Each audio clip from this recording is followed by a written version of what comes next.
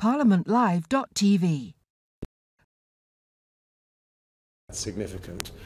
But the majority of the impact from the 110 measures, the additional 20 billion pounds a year of business investment, won't feed through until after the five-year period. We think it's more likely to be over a decade that we'll see that 20 billion pound increase in business investment. So a lot of the measures I took were very long-term ones that will be both growth enhancing and debt reducing. Thank you. And uh, on the debt question again, uh, the characterisation that the Office for Budget Responsibility had uh, of your fiscal rules yesterday was that they were the loosest of any of the six sets of fiscal rules that they've uh, seen chancellors ask them to evaluate um, over their existence. So, would you accept that your fiscal rules are the loosest of any chancellor since the Office for Budget Responsibility was set up? Well, I think they've also said that I've had the tightest public finances of any chancellor that they've ever assessed. And we faced a truly exceptional situation last year, um, which I think uh, the markets accepted. If we'd stayed with the fiscal rules as they were, we would have had to consolidate in a way that would have been damaging for the long term growth and indeed the long term debt sustainability of the British economy. So I think it was the right decision to change those fiscal rules last year. Um, but I think what's important is having changed them, we stick to those rules and we demonstrate a responsible attitude to public finance. And what I was able to show at the autumn statement is that borrowing will be less uh, in the next five years than it was predicted to be in the spring budget.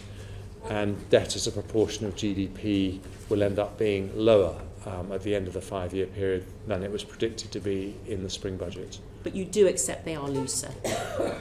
you do accept they are looser than the ones you inherited. There was a, a loosening of the fiscal rules a year ago, yes, in the mm. exceptional situation that we had we were facing. Um, I think that was the right judgment. But I think mm. it's also important to say that uh, as a result of the decisions I took in this year's autumn statement, um, we are overall in a situation where debt is lower than it was predicted to be in the spring budget. Indeed, that's the case for this year.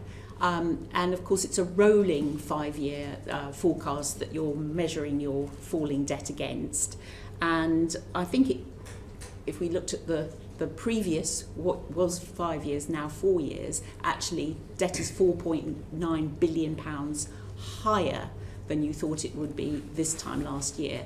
So would you agree with the characterisation of your fiscal rules as they're, they're a bit like the manana fiscal rules? They keep just pushing things out for another year um, because it's a rolling five year. No, um, and I think when you look under the surface, what um, Torsten Bell said yesterday was uh, relevant. He said to have a, a primary balance at uh, 2% is actually historically lower, a lower deficit than we've had uh, in the past. And the reason that the overall debt isn't reduced further is because of the fact that uh, we have uh, the countervailing impact of the unwinding of the asset purchase facility that the Bank of England have. Now that is a temporary a yeah. phenomenon, but I think the underlying picture is of public finances becoming much healthier over the next five years. But are you not worried about the fact that uh, interest payments have gone up so much this year and there is the potential uh, for them to uh, rise further. They're now uh, the highest debt servicing costs of any G7 economy. Well, they are 116 billion pounds, and that's a lot of money, and that's why I think it is important to bear down on borrowing and important to have a plan to reduce debt. That's why I don't think it'd be right to increase borrowing by 28 billion pounds a year, for example. Um, so I think we've taken policies that will allow us to reduce our debt and reduce our interest payments. And in the five year period, we start to do that. Uh, you raised the question of the asset purchase facility, and again, uh, we discussed this yesterday with the Office for Budget Responsibility because they're now saying that the losses on the Bank of England's portfolio of gilts have uh, risen from 63 billion at the last estimate in July um, up to 126 billion now. how does that factor into your thinking in terms of uh, the, your ability uh, to spend? That must have an impact in terms of your real world budgeting. Well, it certainly has an impact on the, um, the debt numbers that we've just been discussing. But I think it's important to put it in the context that um, the profits made when quantitative easing was introduced uh, were between 2012 and 2022 124 billion coming in the other direction. But they've been from, spent, haven't they? Well, they were coming from the Bank of England to Yeah. the Treasury, and Yeah. so uh, there's an unwinding process now that's happening um, as we go in the opposite direction. But you acknowledge that the money that came in has been spent. So the it- money that could potentially be losses, it could be a reduction in spending. Well, um, I acknowledge that uh, the two items broadly so far has balanced each other out, yes. Right, okay. Um, Chancellor, you and I both rebelled on uh, the decision uh, to reduce the international aid budget from 0.7 to 0.5.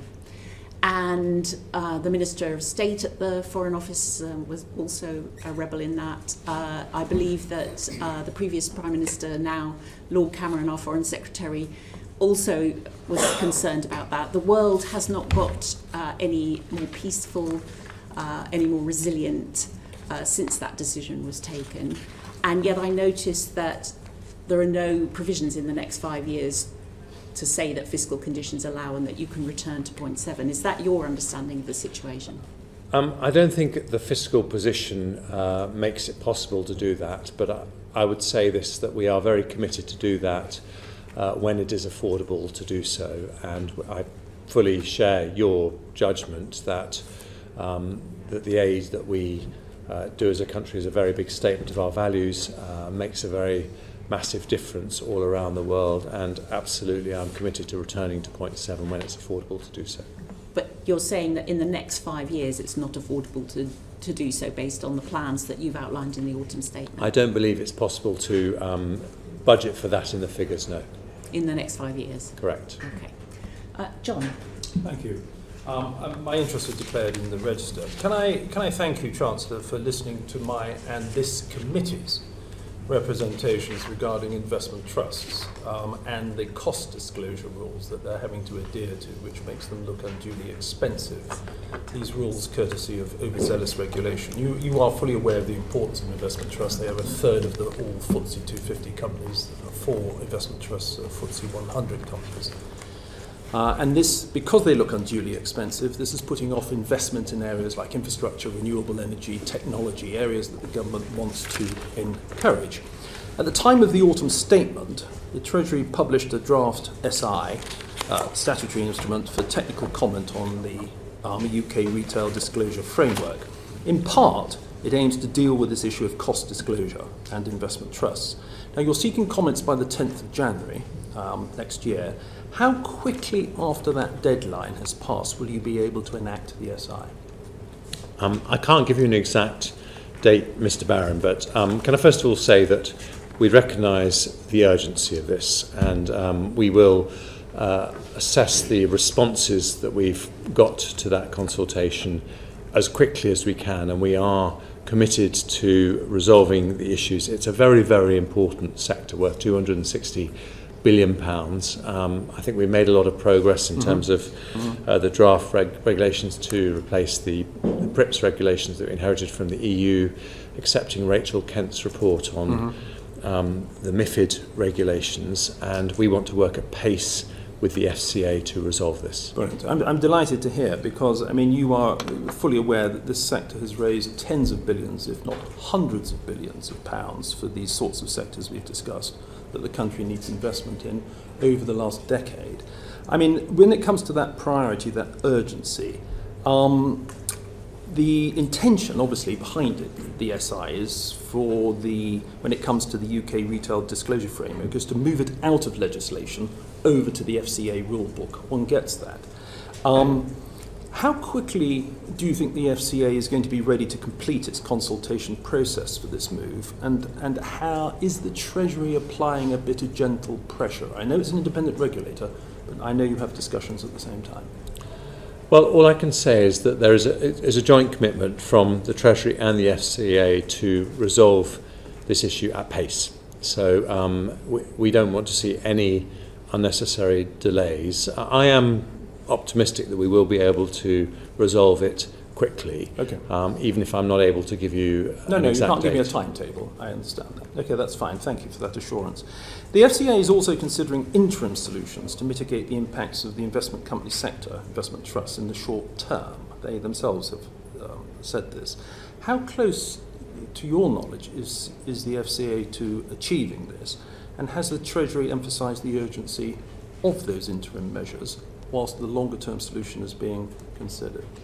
I don't have the answer to that, but I will happily write to the FCA um, and not just ask for that information, but also stress the importance of uh, doing these things quickly. Brilliant. And finally, on this issue, before I move to growth, the policy note that accompanied the draft SI uh, notes that there are also concerns about the requirements relevant to this issue set in the Markets in Financial Instruments Directive, commonly known as MIFID, um, and about EU retained law, and that a separate SI will come to repeal those provisions.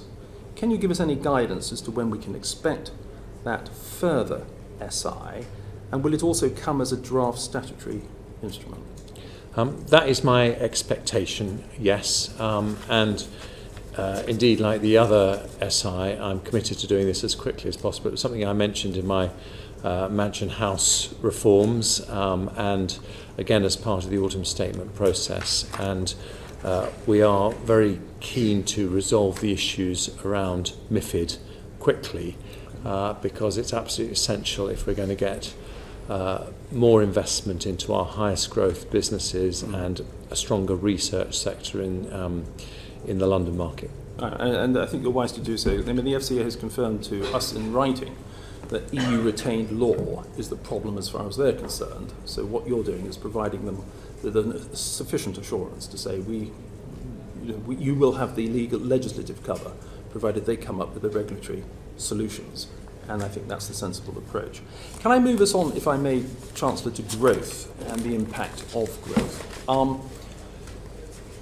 I just, just as a matter of interest, how difficult, how, how much more difficult does it make your job when you've got forecasters not always, how can I put it gently, getting it right when it comes to growth? I mean, you know, as, as, was, as I mentioned in PMQs today, you know, you've had the OBR and the ONS now admit or now say that the UK economy is significantly larger than it was from their estimates only a few months ago. The IMF over the last 28 forecasts for the UK economy has underestimated the strength of the British economy 25 out of those 28 times. I mean, you, you, you can't ignore the forecasters, but do, you treat them with a pinch of salt? I, I think we, in fairness to forecasters, have to recognise that it has been a particularly volatile period. Um, and I don't think there are any forecasters that really have got it completely right. Um, I still think that um, it is better to have forecasts than not to have forecasts. Mm-hmm. Um, but I think you have to recognise the inherent volatility in the situation we face. And uh, sometimes that means that rather than rushing into a decision, you need to buy yourself time to find out exactly what's going to happen. What it certainly means um, is, and this was listening to some of the uh, global investors who came to the UK for the Global Investment Summit mm. on Monday, um, I think it's very foolish to predict that nothing bad is going to happen in the world no, over can't. the next 12 to 24 months, and therefore you need to think about resilience in your approach to economic decision making. And when it comes to resilience, do you think one of the key litmus tests, not the only litmus test, because there's a, a uh, series of them, whether it be living standards, whether it be productivity, but certainly one of the key measures of how well an economy is doing is the employment rate. And, you know, we have record employment at the moment, an unemployment rate well below the EU average. It seems to be stable, at least for the time being. One can't be nonchalant or complacent about this, but that is, that is a, not a bad record to be looking into the future with, is it? Well, I'm very proud that unemployment has fallen by over a million since 2010. Um, but I am also concerned that with a million vacancies in the economy, we have six million mm. adults of working age who are not in work. And so I still think, uh, even though worklessness has gone down, uh, there is a lot of work to do to remove the barriers to work for people who are not in work, but many of whom say they would like to work. So that's why welfare reform was a big part of what we did, and it, it links to the broader, broader macroeconomic challenge that we have on inflation, which mm. has come down a lot but is still not at target. Uh, the more we can ease labour supply for businesses, the more we reduce inflationary pressures. And is that one of the reasons you think that you, the government increased the, both the minimum wage and the living wage ahead of inflation to create a greater differential in order to, whilst maintaining benefits in line with inflation, making sure nobody got left behind, creating a bigger differential to encourage people back into work at touch? Yes, I mean, I think that's a very important part of our overall strategy. If you look at the um, increase in take home pay after tax of someone working full time on the national living wage, which is uh, the lowest legally payable wage for mm. people over a certain age, um, you can see that has gone up in real terms by 30% since 2010. And I think that is very strongly connected to the fall in unemployment um, because, and it, the OBR themselves confirm that the 2p cut in national insurance from 12% to 10% will lead to just under 100,000 more people FTE equivalent in the mm. workforce, which is the equivalent to filling one in 10 of those vacancies. So it is absolutely central to our economic strategy.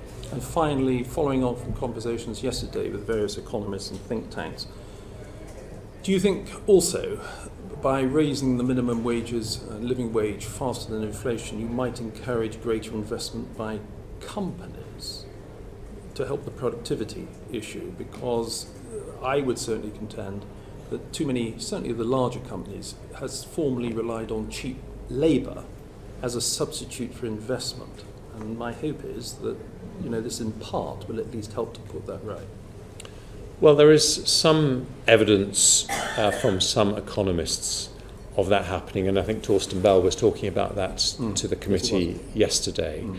Um, what I would say is that at the very minimum, um, what happens when you uh, increase the national living wage is that you make work worthwhile for more people, and most companies say the biggest constraint they have is not being able to recruit the staff they need to expand. So, at a minimum, it does that. But when you combine it with the other measures, such as uh, full expensing, mm. uh, which have given us the most attractive investment reliefs uh, in, in the developed world, mm. um, the intention is to give a massive boost to our investment and to our productivity. And um, that is not just about increasing GDP. Um, I think I've had this discussion with the committee before about the importance of GDP per head and mm. raising living standards for families.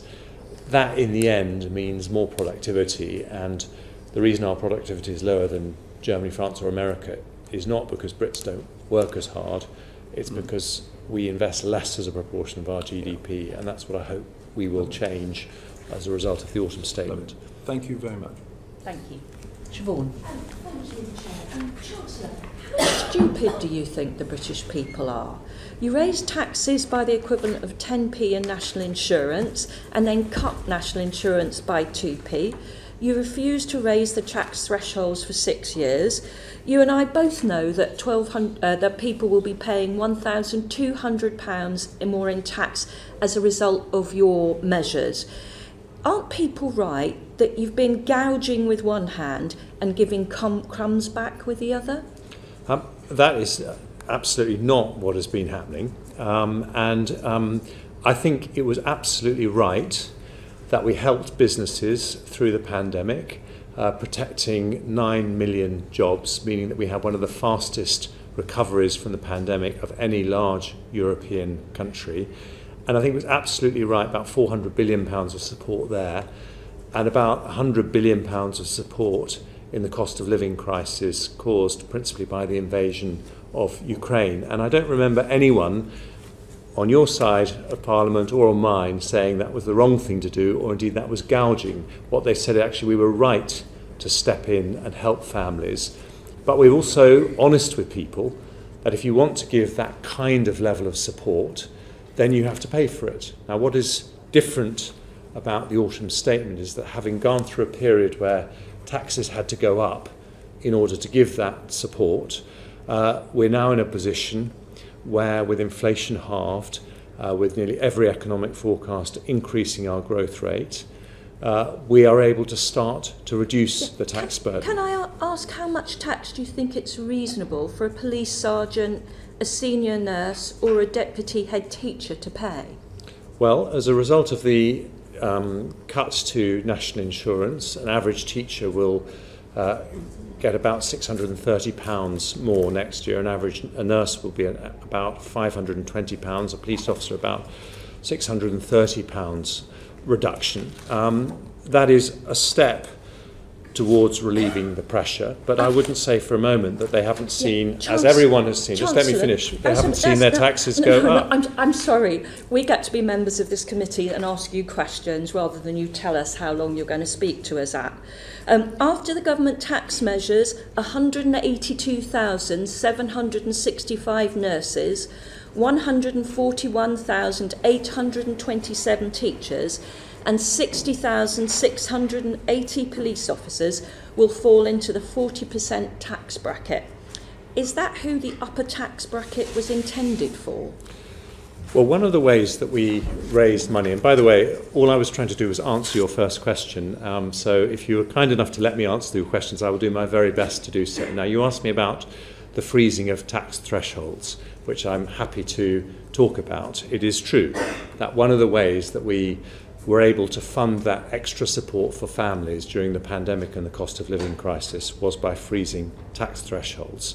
Um, we um, then had a position in this autumn statement where it was possible to relieve tax pressure. And I took the choice to concentrate those efforts in areas that would grow the economy the most. And that was why Paul Johnson said yesterday uh, that if you're going to reduce taxes, these were the right taxes to reduce.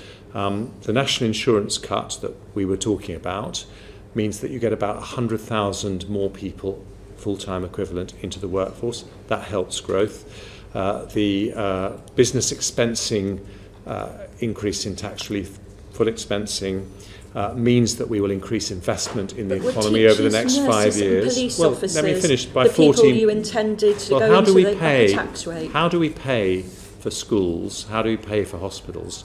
We pay for it through the wealth generated by the economy. Now, what the OBR said is that the full expensing measure will increase investment by about 14 billion pounds over the next five years, which means more growth, more tax revenues, more money for schools and hospitals. And Chancellor, could you remind me who was it that said, if you put your hands into people's pockets and take money out of them, and they do not see visible improvements in the services they receive, they get very angry indeed. Our public services are crumbling, our rivers are full of sewage, 8 million people on NHS waiting lists, the highest since records began, and taxes at their highest since World War II.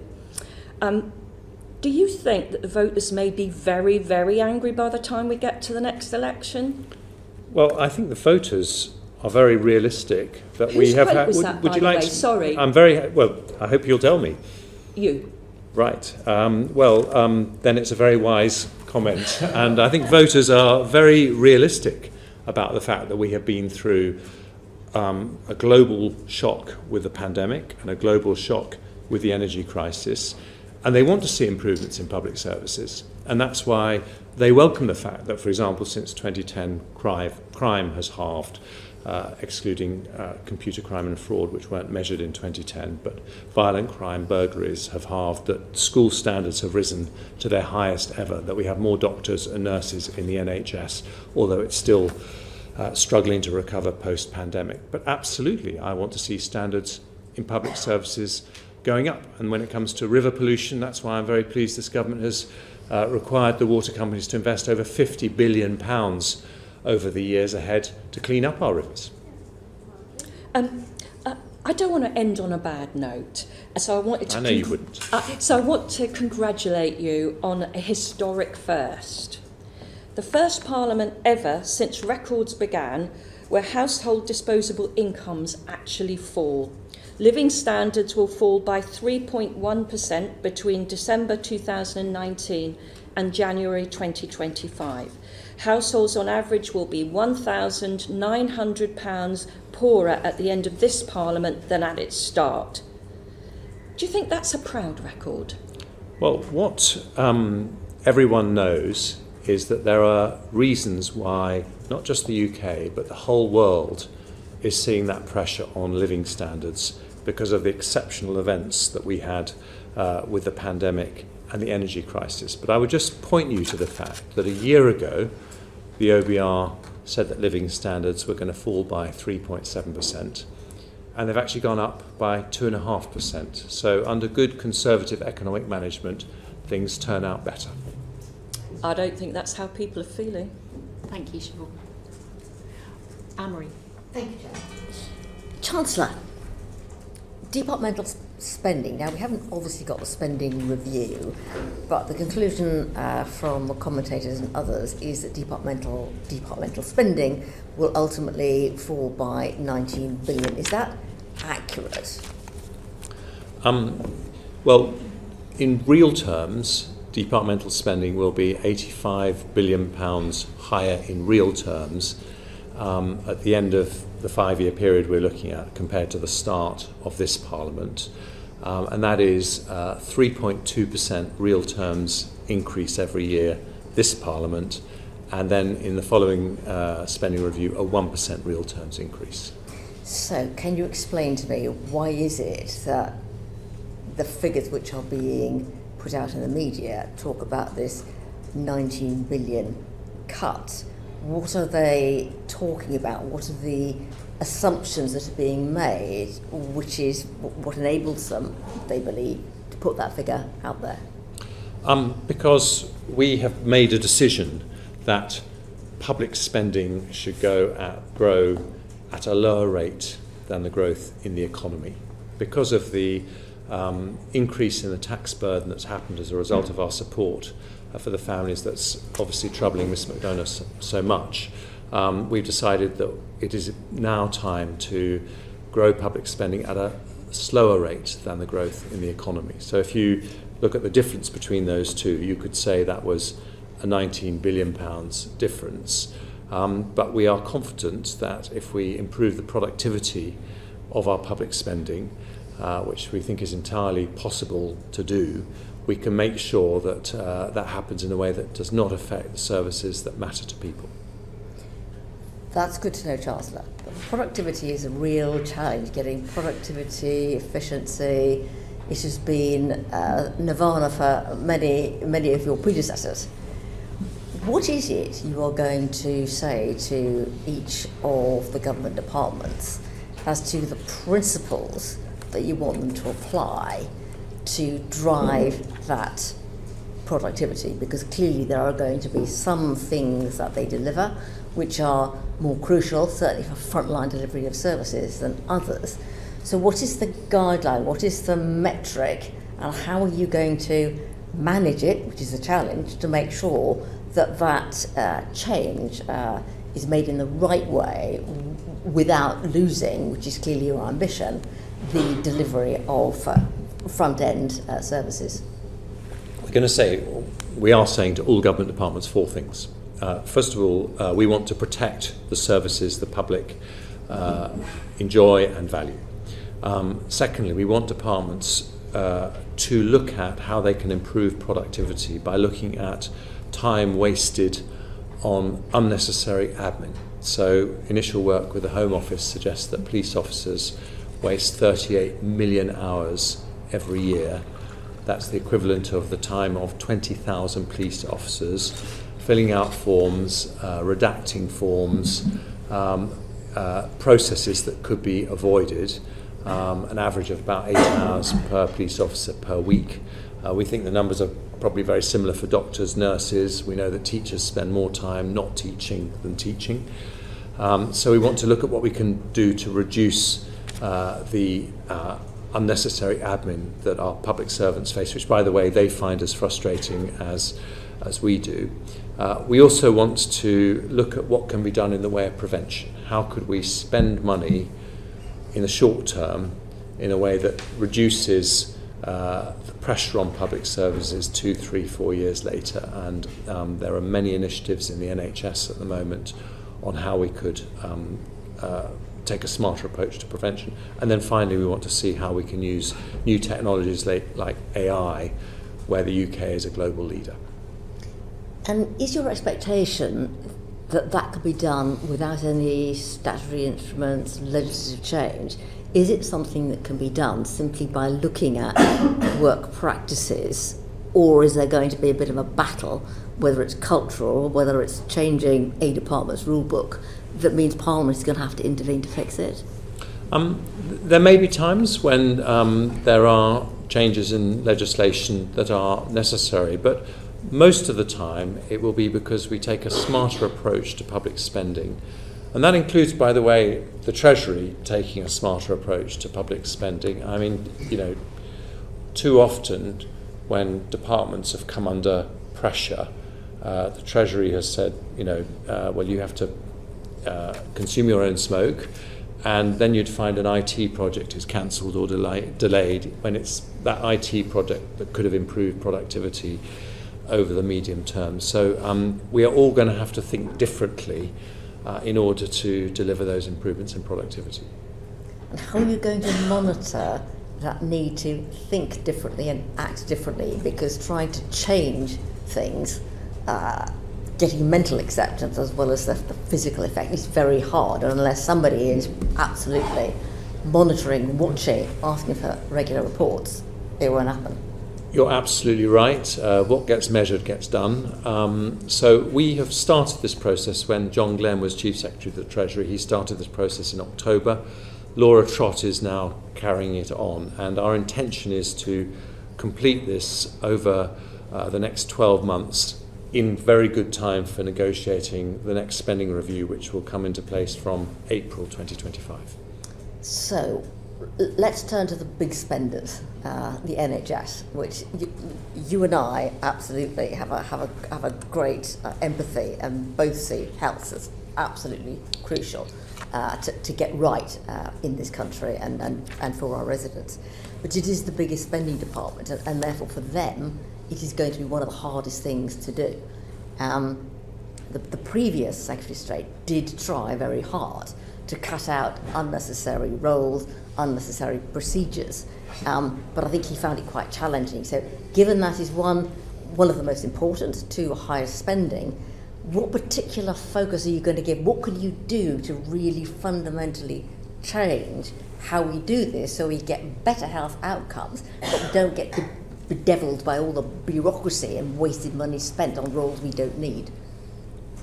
Well, um, I think there is a, a huge opportunity, and I've had um, significant discussions with both the chair and the chief executive of the NHS about how to make those productivity changes happen. But I think you only need to talk to a nurse on the front line about the time they spend filling out forms as opposed to looking after patients. And you can see the opportunity is absolutely huge.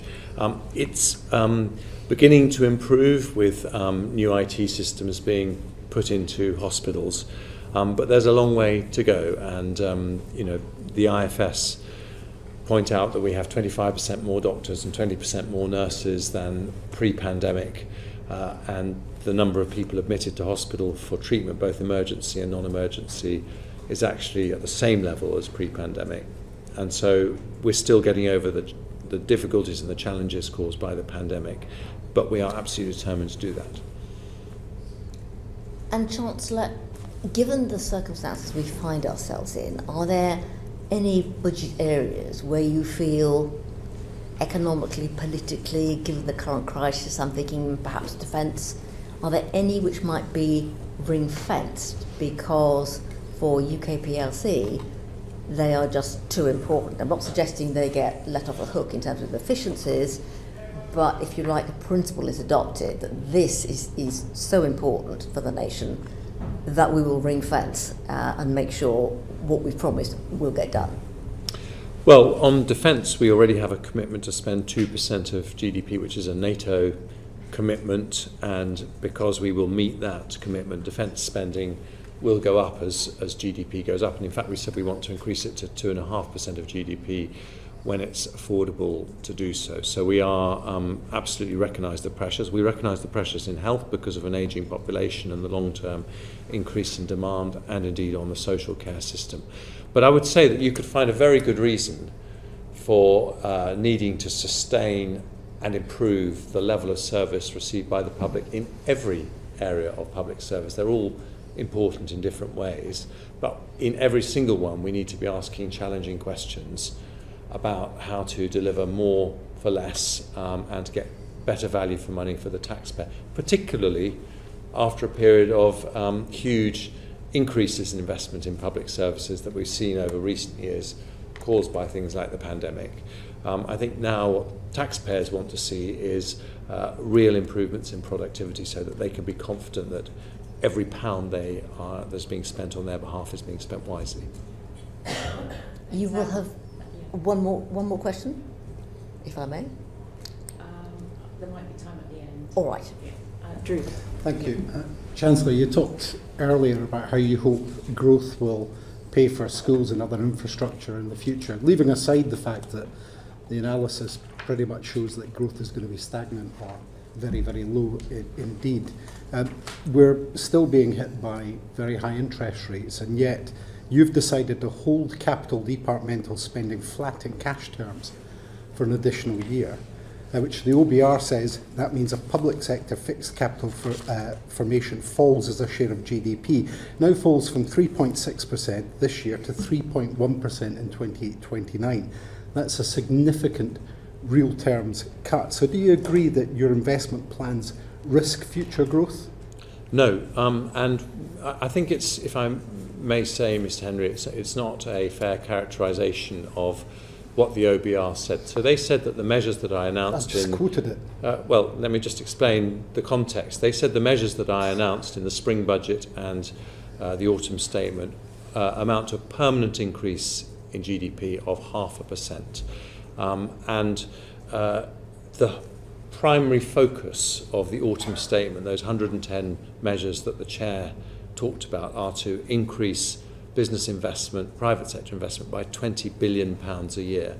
Um, public sector investment is a very important part of that, but my priority by getting a 20 billion pound a year annual increase in investment that is the long term way that a lot of that will feed through after the 5 year period um, it's still the right thing to do um, increasing the incentives for businesses to invest make a massive difference in the long run to the um, ability of the economy to generate wealth to pay for our public services But even if you're right in that five-year period, public sector uh, investment is going to go down. It's a real terms cut.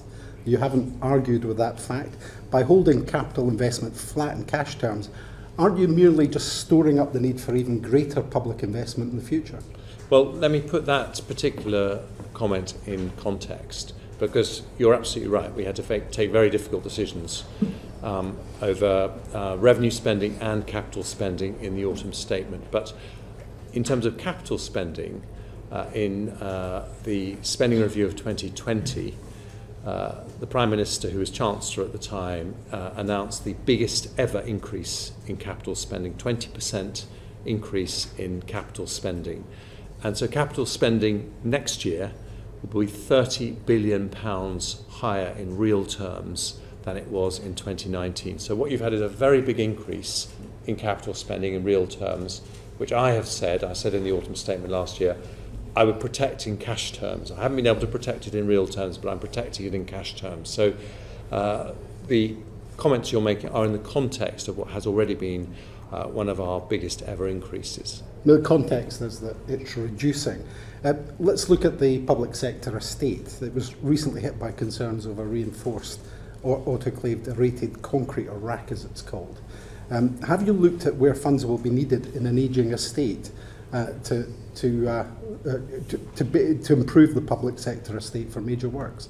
Absolutely, that's why, um, and, and, but the context is an increase. Okay. In Okay. public. Se- hang on. No, you just I, you asked me about the context. It's an increase, um, and because of that increase, we are able to allocate resources to RAAC hospitals, RAAC schools, and of course, our absolute priority is the safety of the public. Okay, what funding is required then?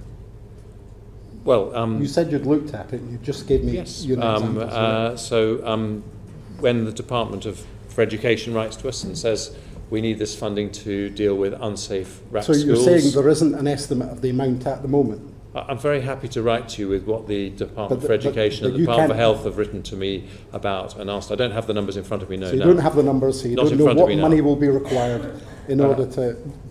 By definition, you won't know what money is going to be required to do that work. Well, we, what we know is that uh, we have uh, done a much more thorough survey of RAAC schools than, for example, has happened in Scotland.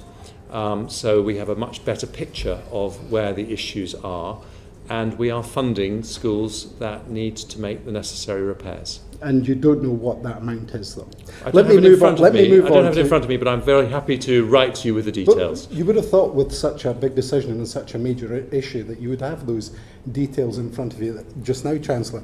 Let me I'm uh, switch. Very sorry, I don't have them right in front of me now, but I will let you have them. Well, you might at least have taken them into uh, context. But let's um, let's ask about uh, climate change. Do you think climate change is going to require significant uh, strengthening of public infrastructure? And if so, where does the current funding meet that? Um, well, I think it is going to need a big transformation in our infrastructure. Mm.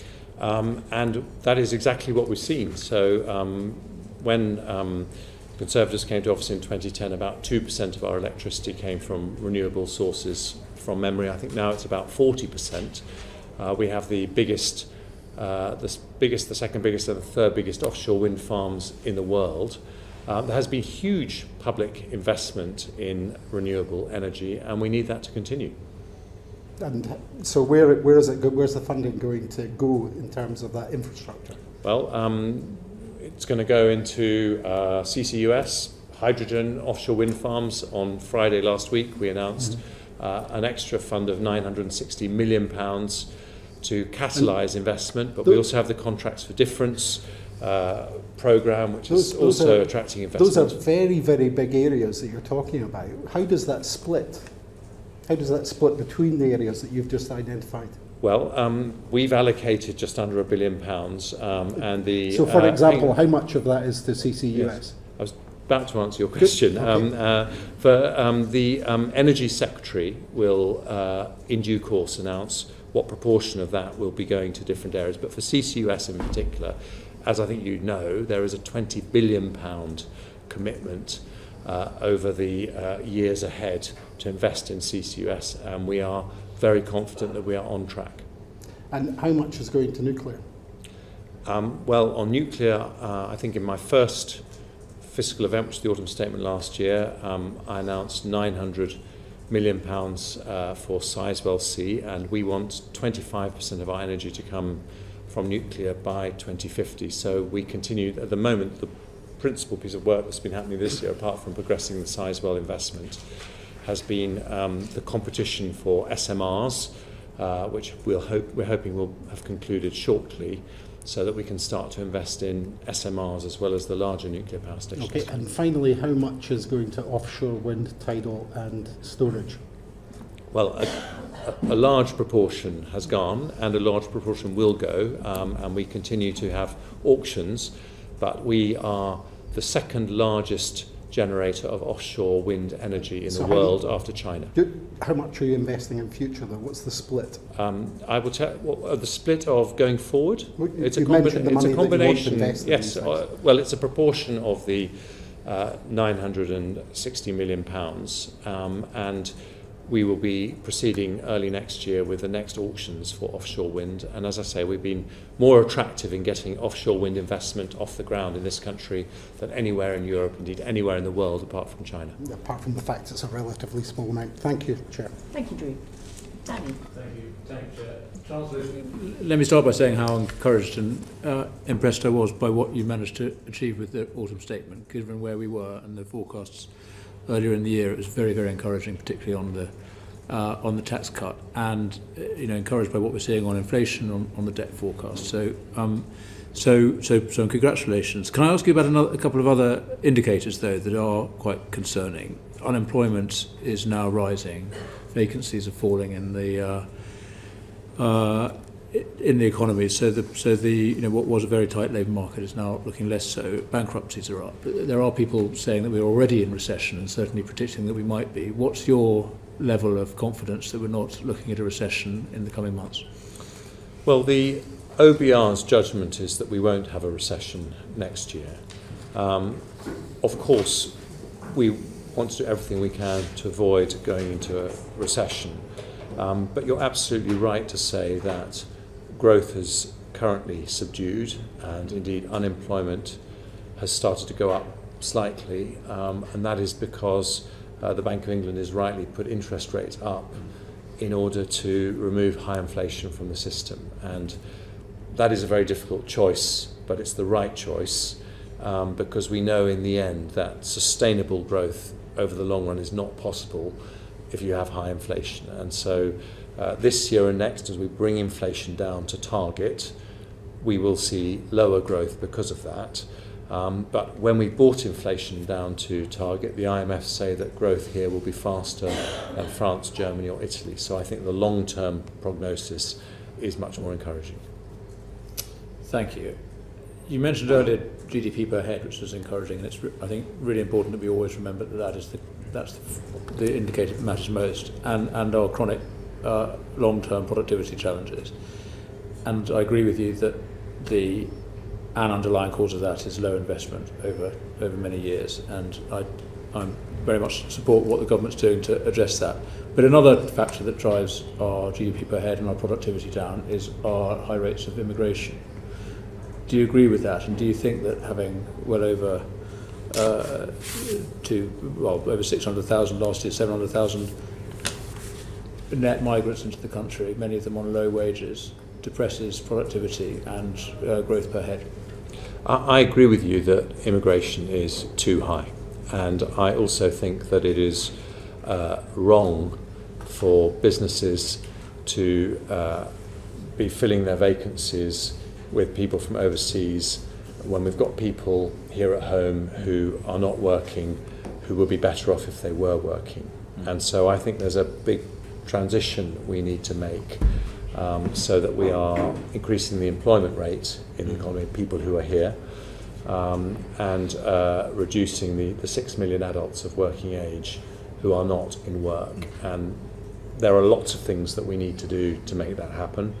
Um, but they are all linked to the uh, ability to bring down migration to sustainable levels without damaging the economy. One of them is the childcare measures that I announced in the budget, which will make it easier for um, parents to go back to work. Then the, the measures that we announced for long term sick and disabled, um, which is uh, uh, going to, it's about two and a half billion pounds we're going to spend over the next five years to break down the barriers for them and the third group, which is the long term unemployed people who don't have a sickness or disability. We still have 300,000 people who've been out of work for more than a year, uh, despite not having any illness or disability, and there being nearly a million vacancies in the economy. So uh, that is what we need to address. Yeah. Well, I, I'm very much support efforts to invest in people and to improve skills as well, and that's definitely part of our the cracking the productivity challenge. The other part is, is technologies. So let me move on to the plans for, for expensing, which again I welcome. Uh, we need to get more private sector investment and rewarding uh, investment in, in machinery is, is very, very welcome. Do you think that companies are going to really feel the, uh, the, the value of the uh, full expensing when they're also facing a significant increase in corporation tax? Do you, do you expect their experience to be one of, of relief, even if, you, even if it might direct investment in the right direction? Do you think companies are going to thank you for it? Um, I think uh, you know companies were uh, unusually very positive about Chancellor's announcement after the autumn statement. Um, you know, the CBI said that uh, full expensing was a game changer that would fire up the economy, um, and they recognised that they said before the autumn statement as the single most transformative thing I could do because I think there's widespread agreement that you know we have the most innovative economy in Europe. We have a tech sector that's double the size of Germany, three times the size of France. We're the life science centre of Europe, uh, film and TV centre of Europe. We have incredible strengths in the innovation industries of the future, but we still have productivity that is lower than uh, Germany, America, and France. So if we could sort out that productivity, uh, we would be unstoppable. And that is very closely linked to business investment. It's about 2% of GDP lower here than in countries like France, Germany, and America. So um, corporation tax uh, headline rate is still the lowest in the G7. Uh, uh, but I think this... Not as low as it should have been if you become leader. Well, um, I've changed my views on that. I used to think that what mattered more than anything was the headline rate of corporation tax, which, as I say, is still lower than our large economy competitors. But I think what we've done is reduce the effective rate of corporation tax with an investment relief, um, which will be more effective at encouraging investment than uh, a reduction in the headline rate would have been. Okay, but it's only for certain parts of certain, certain companies, isn't it? Uh, certain, certain forms of investment. Can you just explain to me the decision not to apply it to all forms of investment? And, and indeed, related to that, uh, the, the, the, I think it's a million pounds allowance is, is, is being, being brought forward. That'll predominantly benefit larger businesses. Do you think you could have done more to stimulate investment and support startups, which, as you say, is the future of our economy in the tech sectors? We need to support all types of business. Yeah. So for startups, we announced that we're extending the EIS and SEIS and VCT schemes for uh, another 10 years from 2025. Um, that has probably been the single biggest measure that has made us the startup capital of Europe when it comes to high growth, high tech businesses. Um, and so we, we want to do lots of things. The, the Mansion House reforms on pension funds also designed to make a big difference when it comes to their ability to raise capital. But we are very specifically wanting to make sure that uh, larger businesses that make uh, decisions which can have a huge impact on investment levels in the economy are incentivized to do that in the UK. And we now have a more attractive business investment regime than uh, any of the large countries who outinvest us. and that is the way that we think we will catch up. Okay. Oh, sorry, um, I think my colleague. Uh, if I may just yeah, add one thing, yeah. Mr. Kruger, to and, and chair to the to the chancellor's um, comment. As, as as the chancellor explains, it's targeted at those largest, most capital-intensive yeah. firms. The permanent full expensing measure, but it also builds on the decision the Chancellor, you asked about small business, mm. the Chancellor took last autumn to set the annual investment allowance at £1 million. Pounds which means that 99% of all businesses, those smaller businesses, already receive up to that £1 million the same benefits as full expensing. Yes, yes. Um, 100% tax relief on their qualifying plant and machinery investment. Okay. And, and just thank you, that's very helpful. And, and to either of you, I mean, one of the problems we've got in our economy is there's, there's major emphasis on debt finance, you know, compared particularly with the US. We don't seem to generate enough equity finance, particularly for, for, for startup businesses. Is there anything in, this, in the package that encourages more equity?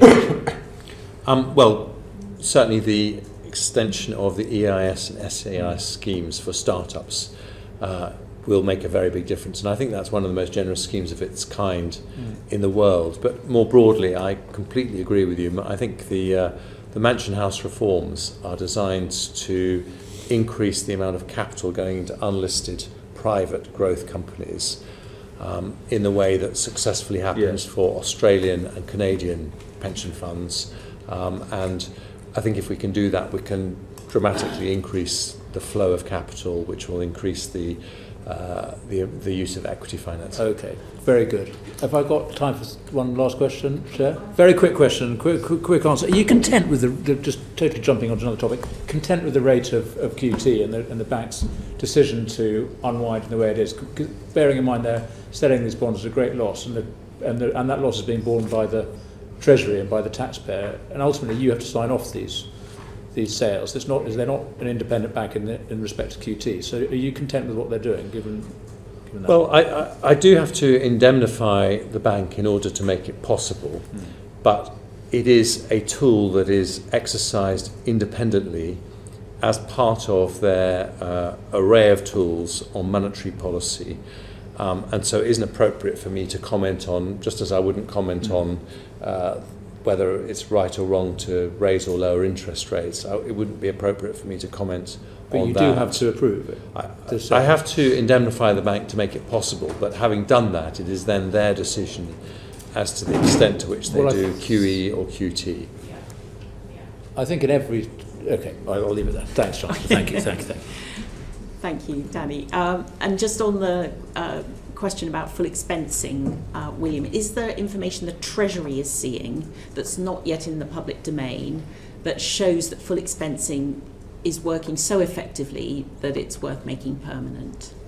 Um, Chair, if uh, the Chancellor's talked about the kind of combined effect of his growth measures and their long run impact on business investment at the 10 year horizon. What the OBR have actually done specifically on full expensing um, is um, assess that its impact on business investment is broadly three No, no, billion. I meant in, in, in the time it's been in place, so full expensing's been in place this fiscal year, have you started to see that that's had a really positive impact and that's something that will be disclosed? Maybe I, maybe I can help Yeah, you on that thank you, one, um, because I think Yeah. the um, there is some evidence actually, um, because the precur I introduced it on a temporary basis at the start Mm. of this year, but the precursor was the uh, then Chancellor, now Mm, Prime Minister, deduction. doing the super Yeah. deduction in 2019. Since then, we have had the fastest growth in investment of any G7 economy since that was since the super deduction was But the announced. super deduction was 130 pence, Yes, but it? it's a Yeah. kind of precursor. Uh, it's, it was the first time we put in place an investment incentive. And then before that finished, I introduced temporary full expensing, and now I've introduced permanent full expensing. So I think you can see, um, since we've started down this journey of introducing investment incentives, uh, that we have actually had investment growth that has mm. outpaced other large economies. Okay. Thank you. Kia. Wonderful. Uh, thank you, Chancellor, and thank you, Mr McFarlane, for, for coming. Um, I'd like to turn to work capability assessments and welfare reforms more generally. Um, so for businesses in my constituency, but also across the country, suffering with enormous labour shortages, the number of vacancies standing around 960,000 in October of this year. But the OBR expects, expects that the labour market impact of changes to work capability assessments will actually be quite small and will raise employment by only 10,000 by 2028-29. So I wonder when the Resolution Foundation has identified that these changes will hit the welfare of the poorest hardest, and when a lot of disability rights charities have raised concerns about these reforms too, why you're persisting with a policy that in many senses will have quite a piecemeal impact on those labour market challenges that we're facing. Well, the uh, long-term effect of these changes will be significantly higher than that, but it's precisely because uh, this is a very vulnerable group of people that we are introducing these changes very gradually over a five-year period.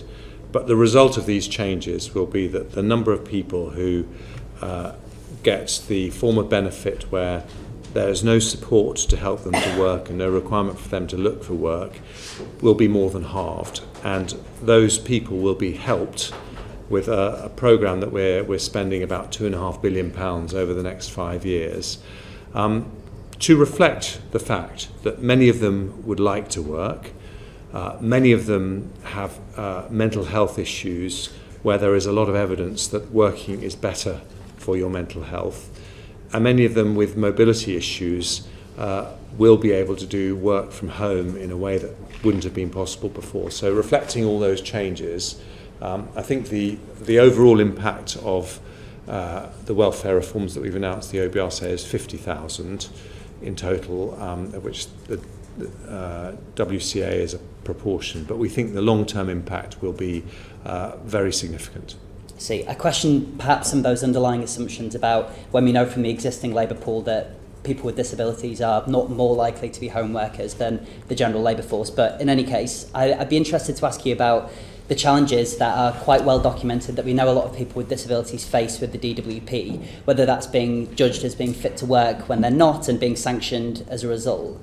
And I do have concerns that if these failings repeat themselves under the new changes to work capability assessments, we might end up in a situation where people with disabilities may have their benefits stopped altogether. And I just wondered if you could kind of put yourself in the shoes of somebody who might fall into that unfortunate predicament. What, what would you do if that ended up happening when you'd already faced a stone wall from the DWP on many other occasions? Well, I um, would hope that we have a system that is compassionate to people with disabilities, but also fair to taxpayers. Mm-hmm. Um, and I think my starting point, if I can explain it this way uh, to you, Mr. Mather, is that at the moment, uh, around 100,000 people every year are being classified as uh, too ill or sufficiently disabled uh, that they should not even, they shouldn't be helped to find work and they shouldn't be required to look for work. 100,000 people a year. I think that is a, a shocking waste of potential. And I don't believe it is uh, good for the individuals involved, many of whom would like to work. And so I think we have to find a better way. And these measures are designed to give people support to help them get back into the world of work. Um, you know, about half a million people are going to get additional mental health support, including 100,000 people with the severest mental health issues. Uh, we're going to do extend the universal support program to 200,000 people. Um, we are spending hard cash to do this because we think that it is better for them um, and also better for society and better for the economy. So is it your view that the existing reforms to work capability assessments as they stand build sufficient safeguards into the system that will ensure that people who aren't able to work aren't wrongly classified as such and then have their benefits stopped when we do have evidence of that currently occurring under the existing regime? That is my judgment, but I also know that Mel Stride, the DWP Secretary, is monitoring these things very closely and he wants to make sure absolutely that we give the right kind of support to people uh, when they need it. Okay, and um, can I turn next to business rates, please? Um, Paul Johnson described the rollover of business rates relief as no way to make policy, and the IFS's official response to the autumn statement argued that the uncertainty about whether reliefs really are temporary or are likely to be permanent makes it difficult for businesses to be plan uh, to plan for the future. Do you feel that this kind of culture of unstable rollover does it necessitate the case for a more comprehensive reform of business rates overall, in your view? Um, we have introduced a very big reform of business rates uh, a year ago at the autumn statement, which was a big request from business. We are transitioning uh, to a new system of business rates, to new valuations, um, and uh, we gave businesses a £12.5 billion cut to business rates, which is an average of about 10% for every business in the country, in order to make sure that uh, the transition was effective. Um, I, I agree with Paul Johnson in, in principle. Um, but I think there are times where you have to make an exception. And one of those times was the pandemic, where um, particularly uh, retail, hospitality, and leisure were very badly affected. Um, and business rates was one of the immediate ways that we could stop many of those businesses going bust. And I think coming out of that is a process that you go on. And I think it was right in the autumn statement to roll it on for one more year.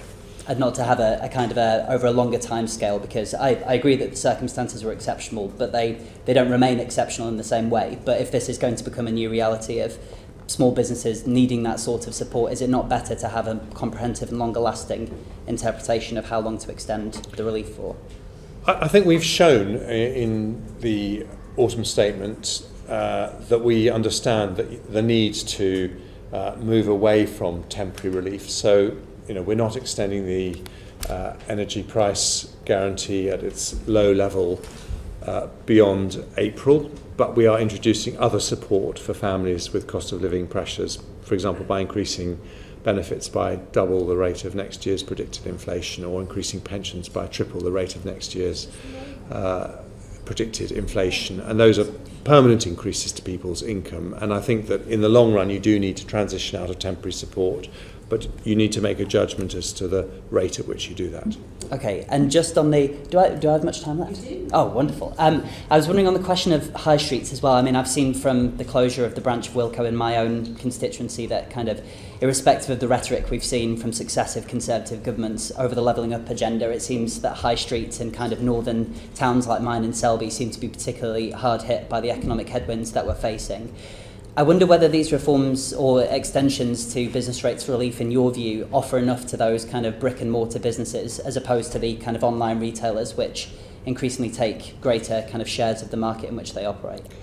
Well, I think we want to help all businesses. So um, we spoke to the Federation of Small Businesses and they said that the number one thing that we could do to help all small businesses was to uh, take measures to end the scourge of late payments. So we've said that anyone getting contracts from the government uh, must pay their suppliers, their subcontractors, uh, promptly as the government pays them promptly. Uh, I think the second thing on their list was rolling over the temporary relief for retail, hospitality and leisure businesses to protect the high street. So we took our cue from them as, as people who are, I think, you know, the voice of small business. And um, just as a final question, and to build on the point that Anne-Marie made earlier around defence spending, the Defence Secretary has consistently reminded us that we must kind of keep Ukraine and the situation there at the absolute forefront of their minds, and I agree. But in this context, why was there no kind of 2024 military funding or action plan for Ukraine contained within the autumn statement? Well, we made very big commitments to Ukraine. Um, uh, 2.3 billion last year, 2.3 billion this year in direct support, then you know support for the Ukrainian economy uh, through uh, World Bank loans, and so we continue to uh, keep under review our support for Ukraine. But the Defence Secretary is absolutely right. Uh, this is an existential battle for democracy and human rights, and we must continue to stand foursquare behind the people of Ukraine. By the way, the Ukrainian finance minister said to me in Marrakesh when I met him uh, earlier in the autumn that there was no country giving more support to Ukraine than the UK. And in t- but in terms of certainty, would it have not been wise to have used the autumn statement as a moment to signal the level of support that the UK continues to demonstrate, in your view? I think we have signalled that, and I think the Ukrainians would say that. Okay, thank you. Thank you, Chair. Thanks, Keir. Angela. Thank you very much. I'm a bit concerned about the gap between rhetoric and reality in your autumn statement.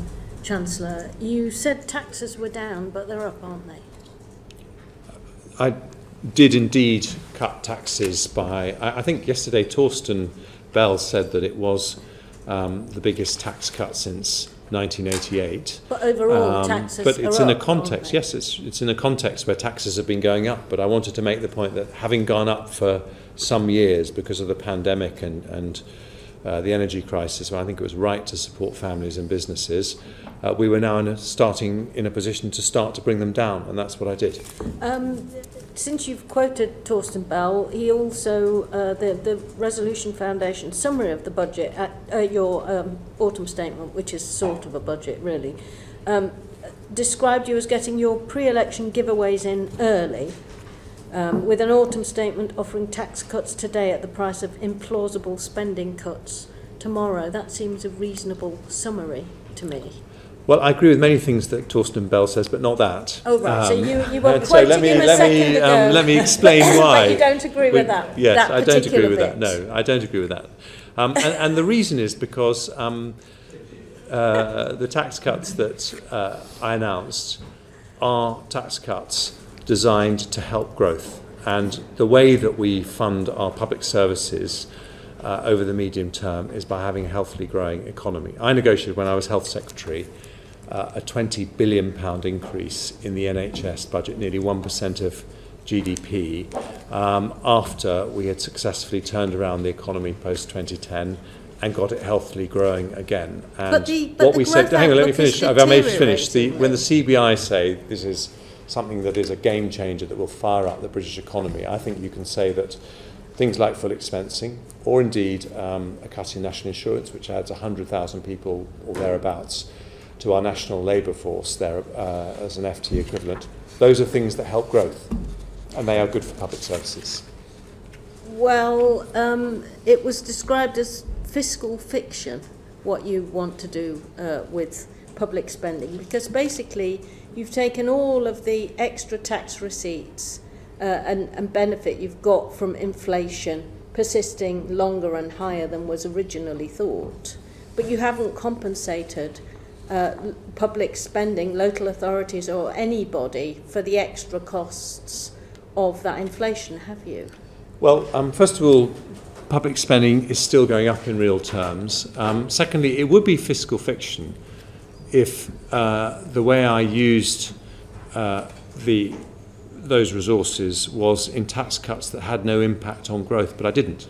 I chose to cut taxes in areas where, for example, the most uh, expensive tax cut I announced was to capital allowances, which is a tax cut that I'm sure the majority of voters in your constituency, in my constituency, have never heard of, um, but is something that makes a massive difference to the long-term growth in the economy. Well, and I think that's why I, that's why I chose want, it. We want it to make a, a, a massive difference um, to long-term growth rates because actually the OBR forecast downgraded future growth uh, for the next three years uh, quite substantially. So why cut public sector investment if you want growth?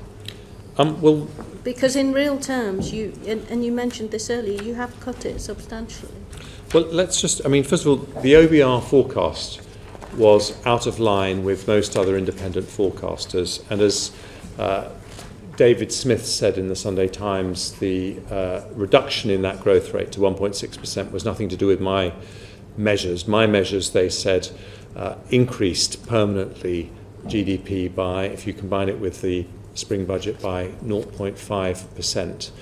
And if we want money for public services, I mean, the OECD today said that um, the increase in business investment and the increase in labour supply to the economy has the potential to improve the fiscal position, improve our ability to fund public services because it increases growth, and that's what I was trying to do.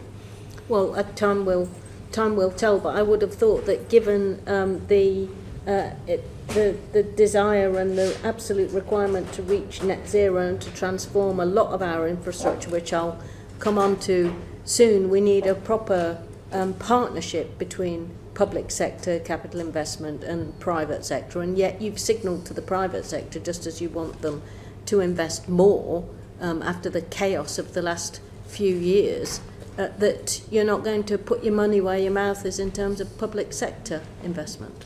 Well, that's not what the private sector has said. The private sector has said um, that uh, the business investment reliefs, which are now the most generous of any large economy anywhere, are a game changer and will really encourage investment going forward.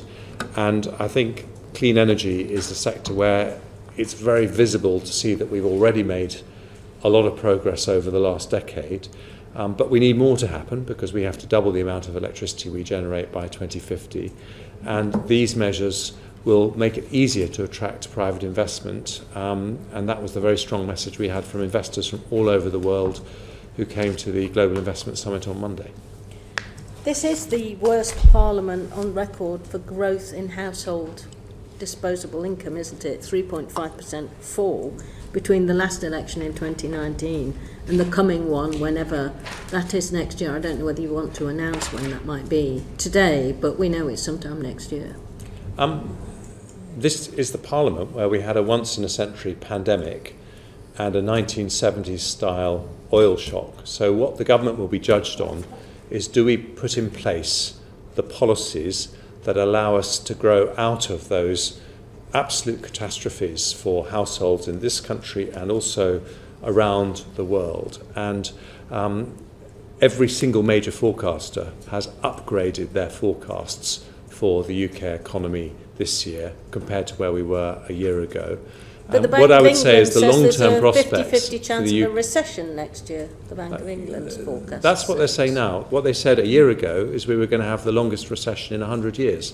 So there is a big improvement in the outlook for the UK economy. A year ago, the OBR believed that the economy would contract by 1.4%. Now they think this year it's going to grow by 0.6%. That's a 2% difference. So there's been a big improvement in the outlook for the British economy. but what I would say to you, Dame Angela, is that I want our long-term growth rate to be higher than the 1.6% that the OBR uh, are talking about within the five years. And that's why I announced those 110 measures to increase business investment by about 20 billion pounds a year. And when those feed through, I believe it will be significantly higher. Okay, well, let's look at your, um, your uh, measures on infrastructure investment. Uh, Sir John Armitt, um, your own infrastructure advisor, told the Financial Times last week that private industry won't fund the tunnels HS2 needs to get the final 4.5 miles to Euston and dismissed the idea that public-private partnership behind the Battersea redevelopment is a comparable model uh, to apply. With no provision in your statement for the London leg of HS2, what's going to happen? Well, I've had very encouraging conversations with um, organisations like Lendlease about the Euston development. Um, and in fact, they've made proposals in the past as to how it would be entirely possible to, uh, to fund those changes through private sector investment. Um, but what I would say is that um, Sir John Armit made some very wise recommendations about how we can boost investment in infrastructure uh, through the National Infrastructure Commission and we um, we published our response to his recommendations and, and we're accepting the vast majority of them. You've set out how your reforms aim to make UK infrastructure more attractive to outside investors by making the planning process faster. But many of us who know how our local planning authorities work know that there isn't enough resource, nor are there enough planning inspectors available uh, to make the system work even at a reasonable level. So the delays are ridiculous. But you've cut funding to local authorities in real terms, essentially, to pay for your tax cuts. How is that going to help solve the planning problems? Well, um, you're absolutely right that planning departments need more resources, and that's why the and what, what I, having talked to lots of businesses, uh, they said that they would be very happy to pay higher fees for their planning applications if they knew they were going to get a prompt response. So we're introducing a new service which allows local authorities to charge the cost of processing an application at cost so that they can get extra resources in um, but um, they are then obliged to deliver the answer within the statutory framework. And if they don't, they have to give the money back and process the application free of charge. So we're, we're directly addressing that issue. That will mean that they can put more resources into their planning department, which I agree with you, we urgently need. And the shortage of planning inspectors, that's not going to be solved overnight? Well, Do you have plans it, to it's not going to be solved overnight, but what I announced in the autumn statement will mean a significant increase in the funding going into planning departments that means they can process those large business planning applications much more quickly. We also um, going to uh, we're going to reduce as a result of that the average time it takes to process a large planning application to two and a half years, and we're going to reduce 90% of the delay in access to the national grid. So taken together, those measures have been strongly welcomed by the clean energy industry as, as one of the single biggest things that we could do to um, speed up their investment in infrastructure. Can you confirm um, to the committee that you decided in your autumn statement to spend 96% of the extra money that um, the, the headroom that uh, you you got from changes to the forecasts on tax cuts, be it for um, in NICs and full expensing and other things, Well, leaving way- yourself very little fiscal headroom to meet your rules. Um, the way, well, first of all, the, the headroom to debt falling has doubled compared to the spring budget. Um, To and we're meeting our, Billion. Yeah, but it was six and a half billion in the spring. Um, secondly, what I would say is this: I used most of the extra headroom I generated from the economy outperforming forecasts uh, on growth measures. Yes, uh, they were cuts in taxation. They're cuts in taxation that help growth, that help uh, get more people into the national labour force, which helps businesses fill their vacancies. Uh, they're measures that help reform the welfare system by giving more support to help people back into work. They're measures that help stimulate business investment by giving us the most attractive uh, capital allowances, business and investment tax regime in the world. Yes, and I don't apologise for that. It was the right thing to do because if we want to fund our public services, uh, then we need to be a dynamic, lightly regulated, low tax economy. So half of your fiscal headroom is that assumption that is always in the budget documents that the um, fuel duty escalator is going to be applied. So are you going to be doing that? Because if you don't apply the fuel duty escalator, your headroom is halved back to where it was in March.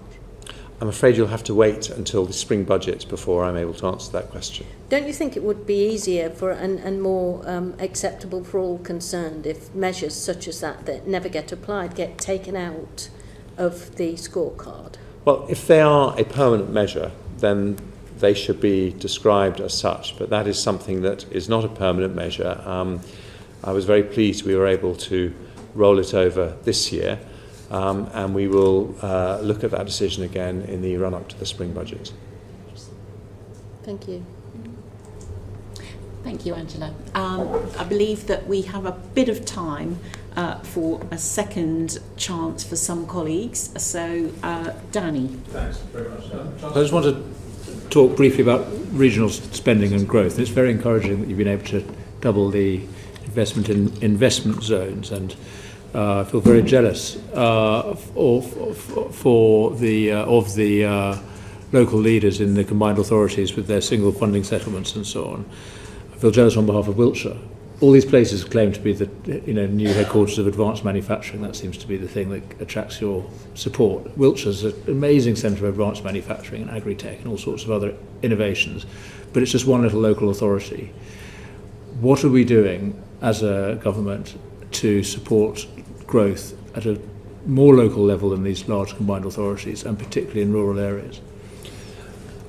Well, um, the first thing I would say is that there is a very conscious strategy to spread growth more evenly from uh, prosperous parts of the country to less prosperous parts of the country. And since we started the Levelling Up agenda, more than two thirds of new jobs have been created outside London and the southeast. And I think that's a good thing. Um, it's good for social stability, but it's actually good for the economy because if you look at one of the reasons why our productivity has been held back, it is because there's a much bigger difference in, for example, the productivity of the Manchester and London economies than there is between the economies of Lyon and Paris. Yeah. Um, and we need to address that.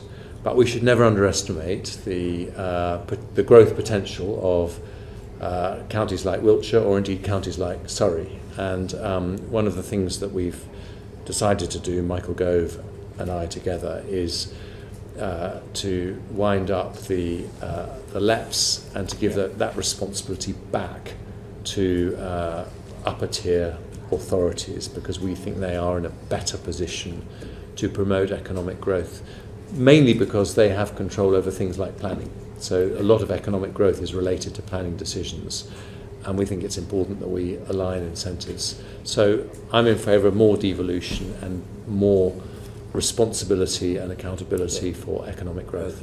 They don't have enough control over planning because the inspectors apply crazy rules that override local authorities' wishes and local communities' wishes, but that's a question for another day and another uh, Secretary of State perhaps.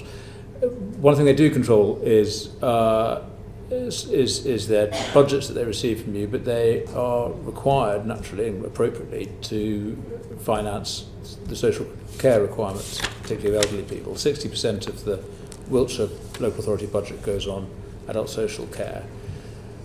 I appreciate and support and welcome the investment that you have made, another £3 billion most recently into social care. So I think there's important support coming, but fundamentally the system as a whole doesn't work. And we were elected on a manifesto commitment to reform that. What can we do to reassure our constituents that we are going to fix the you know, deep structural challenges in social care, not least so that local authorities can have some more money to spend on other things? Well, um, uh, thank you for mentioning what I announced at the autumn statement. I mean, I felt uh, that when I secured a big funding increase for the NHS in uh, 2018, um, I wanted to do it for social care as well. and um, I was not able to do so because I moved to a different job. Mm. And so when I became Chancellor, it was unfinished business. And in fact, the increase uh, it was 2.8 billion pound increase from where they were before this year, and going up to 4.7 billion pounds next year, Mm. which I think is something. It's it's a 25% plus increase in the core adult social care budget, so it's a big increase. But with that additional funding needs to come reform.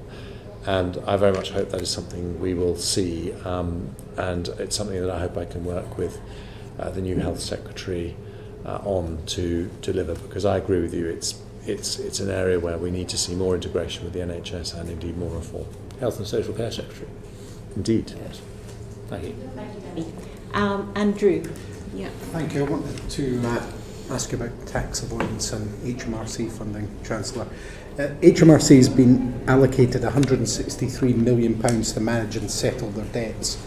Um, HMRC have had outstanding tax debts for, debts for a number of years now, with the latest data showing that this stood at £45.9 billion in March. So why are you only giving them additional funding now? Um, I think, just to use our favourite word, Mr. Hendry, the context of this is that the tax gap in this um, country is much lower than most of our international comparator countries.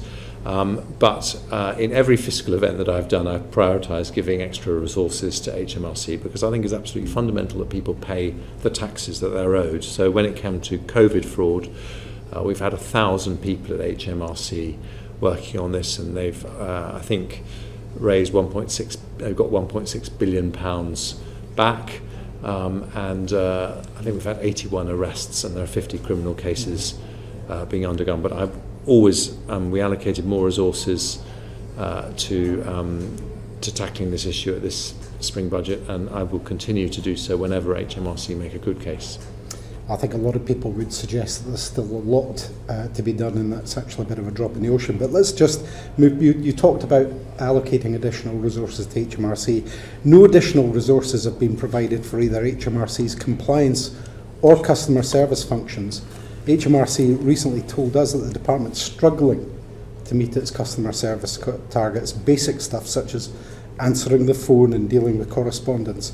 And this is in part due to fiscal drag, which you'll know all about bringing more people into the tax system. So why did you not? Why did you choose not to increase HMRC's funding for these functions? Um, I actually had uh, discussions with the head of HMRC about their failure to meet customer service targets. And my understanding is that they are actually uh, on track to meet those targets, uh, even if they're not meeting them now. Um, but um, I'm It's not very. what they've told us recently. Let me let me write to you and uh, okay. give you the full update on that. Okay, has, full context, I should say. Let me ask you then, has HMRC outlined any risks to you on the correct collection of taxes, including uh, how it helps HMRC's customers uh, from its lack of resources? Um, what I think I can assure you is that um, when I've had requests from HMRC to increase the number of people uh, that they need to tackle um, taxes that should be paid that aren't being paid, uh, we have responded very sympathetically. But the question I'm asking is about resources for dealing with uh, people are trying to contact contact HMRC. Are you as Chancellor uh, content for more people not to be able to get in touch with HMRC either by uh, phone or letter? No, um, and I've had a discussion with the head of HMRC about that, and he has assured me that they have plans in place that will improve the quality of customer service. And yet you've applied no additional resource to these Uh, functions. well, my understanding is that they will be able to uh, meet their customer service targets with the resources they have. You're not concerned then uh, about HMRC's ability to collect taxes without additional funding then? Uh, I've, these- I've given sorry. I, I've given them extra resources to help In, them collect more areas? taxes. Not in these areas, Chancellor. Uh, well, no, you're, service, uh, in terms of customer service, that is their service to customers who are contacting HMRC Yeah. about uh, their tax bill, and there I believe That that, they are on track to improve their customer service. I don't think that's a question of resource, Uh, I think that the management of that service is improving.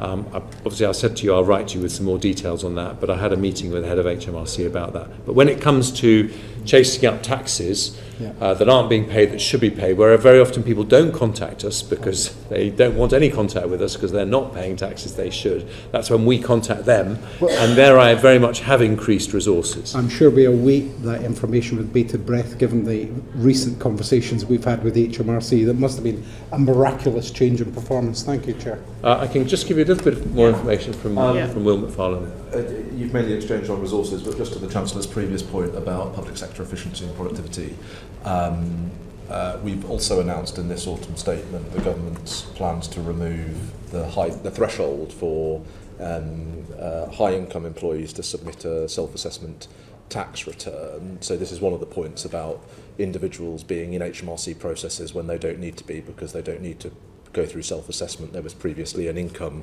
uh, trigger to enter self-assessment. The government is um, streamlining that, and that's just one of the ways, not with additional resources, but trying to improve the customer interface between HMRC and the taxpayer.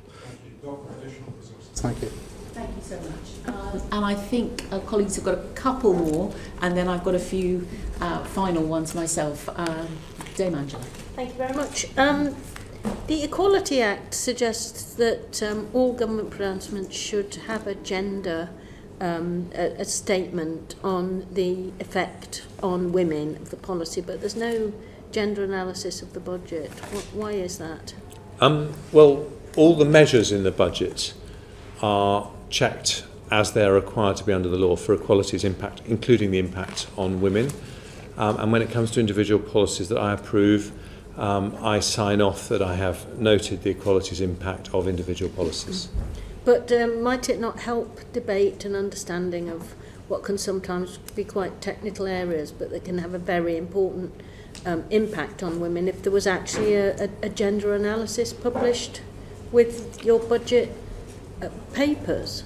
Um, well, Sounds like you've got one in there somewhere, you've just not published it. We, we, we assess as we're required to the equality's impact of every individual measure. So there's a very thorough process, and it's not just women, it's for all, um, all protected groups of protected characteristics. Um, so that process does happen.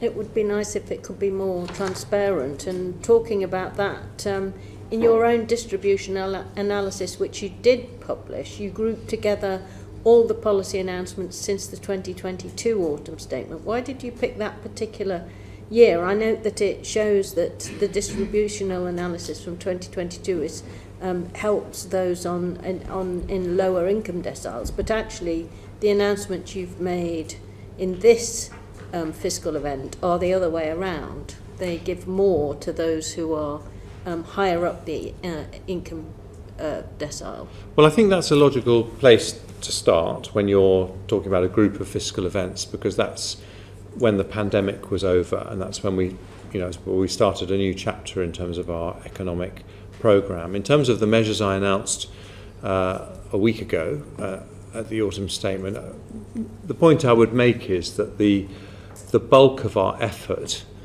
uh, is to help people on low incomes. The biggest single change, you know, the increase in the national living wage, um, has uh, a huge impact on people being paid the lowest legally payable wage if they're um, above a certain age. And, you know that that I think will make a big difference. And the national insurance cut um, combines uh, focuses Which its effort on people on. isn't paid always by those who are on lower. No, and incomes. for for those for people who are below twelve thousand five hundred and seventy pounds. We had an increase in benefits at double next year's predicted inflation. State pension is going up by th- nearly three times next year's predicted inflation. Well, if it's so Local good, housing allowance is £800 to... Why didn't you publish a distribution analysis of the autumn statement then, rather than take it back to year zero, which seems to be 2022? Because, because I would like the impact of my decisions to be taken in the round over a group of fiscal events, because I think that's a fairer reflection of my record and this government's record. And Siobhain? They're kind of very interesting comments, Chancellor, because if we look at a, a group of women, particularly finding it difficult financially, uh, lone mothers. Uh, the Women's Budget Group uh, suggests that the national insurance changes for lone mothers will benefit them by £76 a year, um, contributions compared to £248 uh, a year for a lone father and 437 a year for a dual parent household. So perhaps analysis might inform you as much as the rest of us. Well, um, if you look at the measures that I announced in the spring budget, uh, which, inc which included a £4 billion annual increase in childcare. That will make an absolutely huge difference for lone mothers who choose to work. And I make no apology in my decisions for prioritising measures that encourage and make it easier and break down barriers for people who want to work. And I think there is still challenge about whether those uh, childcare measures will actually uh, be able to be implemented given the age profile and the state of the childcare sector. Uh, but clearly, lone mothers are not doing as well as other groups um, in terms of national ins- the national insurance changes you've made. And if we, you seem to have become a fan of Torsten Bell. Um, They're all fans. It's a bit of a surprise the Chancellor is such a fan, but perhaps Without always agreeing with him, I have to say. yeah, perhaps he, perhaps you would like to to think about uh, one of his co- quotes that you didn't uh, mention today, which was about the impact of the national insurance, um, the disparities between those on the highest and lowest incomes.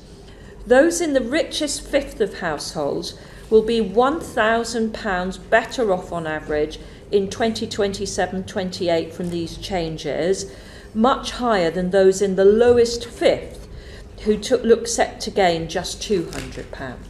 I will happily reflect on that if you will reflect on what Torsten Bell said in the spring budget about my plans. No, no, I'm, I'm I'm just I'm answering your question. I'm not asking you a question. I said I will happily reflect on that if you will reflect on uh, what he said about the decision to pay uh, people on universal credit childcare in advance to enable them to look for work, which they had not been able to do previously because it was paid in arrears, which will have a particular impact on lone mothers. I find it absolutely amazing that you would want to be praised uh, for paying childcare in advance to people who are on universal credit, when surely uh, it was mad to think you could be able to pay childcare in arrears in the first place. Well, to quote Mr. Hendry's favourite word, I was just giving you the context of Torsten Bell's overall comments on the measures that I've taken. Yeah, it, it, it would take somebody who didn't know a great deal to introduce that in universal credit in the first place. I'm going to move things slightly on, and I promise I'm not going to quote uh, Torsten Bell in Oh, this don't be section. disappointed. But um, I- I'm going to wrap up with a few things that uh, colleagues uh, haven't raised, but I think will be uh, of interest. Um, uh, the first one was to echo uh, on behalf of w- Wiltshire.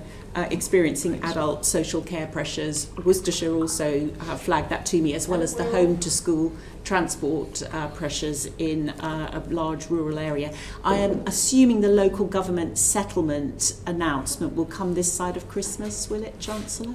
Um, that is the normal practice. Um, it's obviously in the end for Michael Gove to confirm when the precise date is. But conversations are ongoing between your teams and his? Correct. Okay. Uh, it's not going to be as late as next February because it wasn't till February this year, was it? I can't give you the, the exact okay. date, but, uh, but you know discussions are ongoing. Okay, thank you. Um, on the subject of dates, um, we note that the temporary 5p off the price of fuel expires next uh, March the 23rd. Can we infer from your comments today that you don't like temporary reliefs, uh, that that's just going to be allowed to lapse, or can we infer that we might have a budget before that date? Um, I don't like temporary reliefs. Uh, I, I- think and it's something that is permanent should be described as permanent. That is a temporary relief, um, and we will make a decision on that when we have uh, the spring budget, the date for which has not been decided. it hasn't been decided, but it's likely to be before March the 23rd. Are we incorrect in suspecting that? Um, I'm afraid I can't tell you anything Okay. about the date of the next budget right. because it genuinely has not been decided. Okay. Um, on uh, the subject of simplification of the tax system, as you know, this committee has a strong view that it was a mistake to have abolished the Office for Simplification. We acknowledge that you've simplified a few things in the, your time as Chancellor, for example, um, the, the, the pension lifetime allowance, uh, some NICS measures at this budget. Um, but do you accept there's still a lot of work to be done in terms of simplification of the tax system, the, the sort of high marginal tax rates there are at various points on the income uh, scale, uh, the cliff edges uh, that exist that are going to be uh, capturing more and more people as time goes by and incomes grow faster than inflation uh, again. So, what are your thoughts on simplification generally, Chancellor? Um, it's something that I, I always try to uh, practice in every fiscal event that I'm responsible for. Um, and I think I have done some major simplifications, as you generously commented on, um, and I would hope to continue in that vein. I, I agree with you, by the way, there is lots more simplification There we need to really do. perverse, yes, no, I, I, um, I um, accept that there is lots of simplification that is necessary. Okay, thank you very much. Uh, unless uh, colleagues are wishing to catch my eye on anything else, I think we've covered a lot of ground in uh, this afternoon's scrutiny of the autumn statement. I think you've committed to write to us on the details around um, the aerated concrete issue and what you're hearing from the Department of Education on that and investment companies. and investment companies. Um, so we will obviously be in touch in terms of the outstanding issues. But uh, on behalf of uh, my colleagues, can I thank you very much uh, for your evidence this afternoon? Order, order. Thank you very much.